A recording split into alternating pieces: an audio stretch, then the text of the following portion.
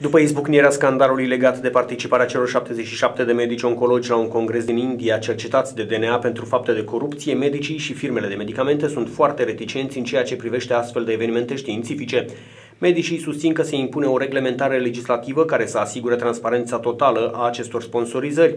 În același timp, participarea la congrese este cerută de însăși legislația care obligă pe medici și pe asistentele medicale să se perfecționeze pentru a putea căpăta anual dreptul la liberă practică. Acest drept se acordă de către Colegiul Medicilor pentru doctori și Ordinul Asistenților Medicali pentru asistenții medicali.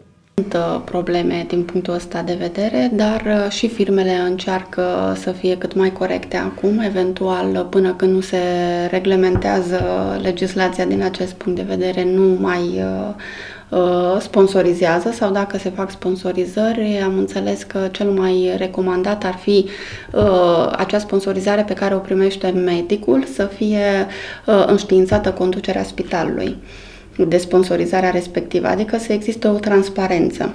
Managerul Spitalului de Urgență din Roma a exemplificat faptul că participarea la Congresul Internațional de Ortopedie de la Băile Felix din acest an depășește 850 de euro, bani pe care un medic nu și-i poate permite din venituri proprii.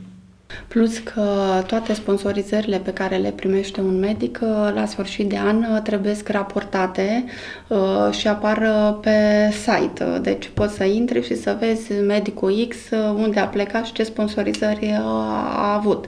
Într-adevăr, pentru a merge la congrese, uitați, Congresul de Ortopedie de la Sorot, Sorotu, care an de an Uh, se face în locuri diferite. Anul ăsta uh, este la um, Băile Felix, la Oradea.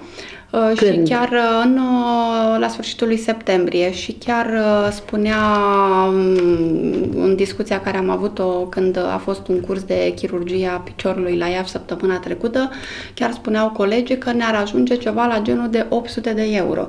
250 de euro costă doar taxa, 200 de euro să fii membru în Societatea Ortopezilor Români și Traumatologi, Uh, din start 450 de euro plus taxele, plus cazare, plus uh, tot. Uh, sunt niște sume pe care 850 de euro sunt mulți.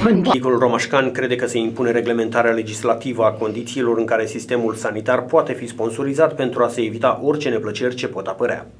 Și noi, medicii, trebuie să fim informați, trebuie să mergem periodic la aceste congrese tocmai pentru a vedea ce este nou și de aici necesitatea Fiind de a fi... Cerc da, da. Vicios. Dar uh, cel mai bine ar fi să fie reglementat din punct de vedere legislativ, să nu mai existe discuții că a mers pentru firma cu tare, că vezi, Doamne, nu știu ce...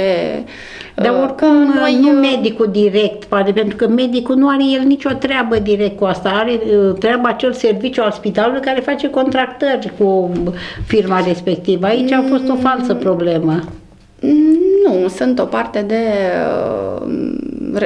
de, de firme de medicamente cu care spitalul nu are niciun contract. Reamintim faptul că și la nivelul politicului au apărut acuzații pe subiectul sponsorizărilor, dacă luăm în calcul trimiterea în judecată a primarului Craiovei, Olguța Vasilescu, pentru faptul că o serie de firme au realizat văruirea unor fațade din centrul orașului în regim de sponsorizare, vedem dimensiunea aberației unei astfel de decizii luate de instituțiile de forță ale României. Reamintim faptul că fără măsurile de văruire a fațadelor, municipiul Craiova nu s-ar fi putut înscrie în cursa Craiova, capitală a culturii europene.